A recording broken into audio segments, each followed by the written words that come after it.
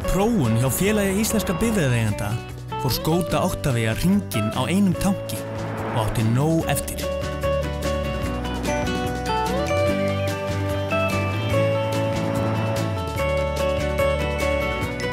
Skóta, fjölskyldubillin sem eyðir svo miklu minna.